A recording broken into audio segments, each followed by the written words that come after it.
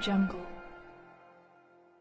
Провокационный армянский сайт продолжает свою экстремистскую деятельность в России. Необходимо пресечь лживые экстремистские действия этого ресурса, об этом передает АЗАС. Азербайджанцы России снова обратились к генеральному прокурору России с просьбой закрыть сайт армян Еркрамос. Как сообщает московский корреспондент АПА, обращение к генеральному прокурору России Игорю Краснову было сделано от имени главы региональной национально-культурной автономии азербайджанцев Московской области Эльшана Ибрагимова. В обращении отмечается, что газета Айркрамос и ее сайт занимаются экстремистской деятельностью в многонациональной Российской Федерации, разжигают вражду на национальной почве.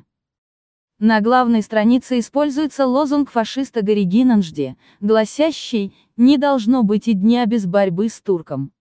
В обращении подчеркнута важность пересмотра указанных фактов. В обращении также был затронут и ответ на обращение диаспоры в Роскомнадзор, Федеральная служба по надзору в сфере связи, информационных технологий и массовых коммуникаций России, от 15 июля 2019 года. В ответе Роскомнадзора говорится, что еще в 2016 году решением Первомайского районного суда Краснодара, регистрационное свидетельство Орг, как СМИ, было аннулировано, и его нет в общероссийской службе реестра. Однако, несмотря на это, Орг продолжает свою экстремистскую деятельность, доступ к сайту все еще не ограничен. Поэтому, просим вас заново рассмотреть данный вопрос, говорится в обращении.